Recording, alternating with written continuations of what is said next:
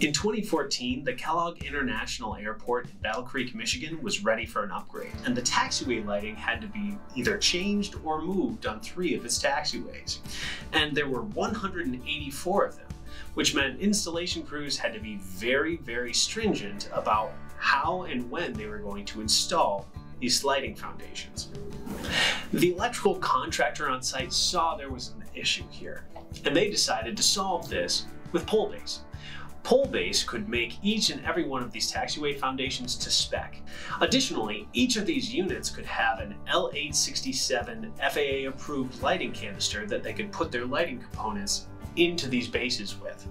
So each of these bases arrived on site to match the spec exactly which not only took stress off of the contractor, but enabled them to install these things much faster because they didn't have to worry about waiting for mixers or actually forming up these things to cast them in place.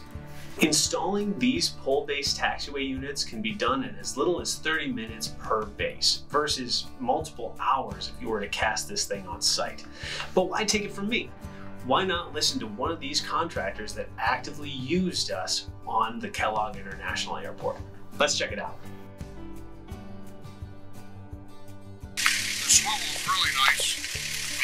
Uh, stuck out there ready to go nice. Uh, kind of heavy for this little machine, but pretty good.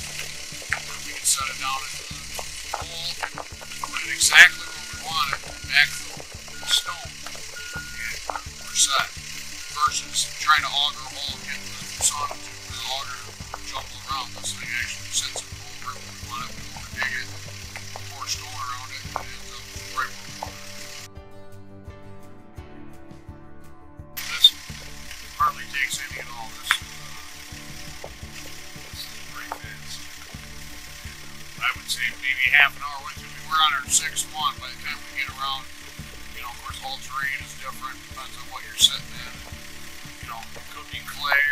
sand caving on you, but right now, you by the time we get done, we this shape down to about a half an hour each.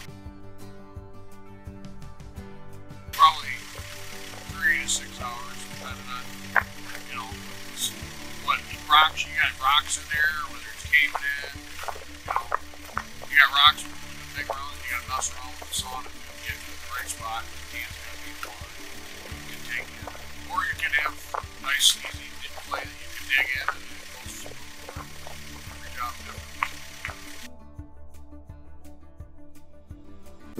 So the next time you're bidding on a taxiway project, make sure you find your local Pole Base manufacturer to get some pricing on our products.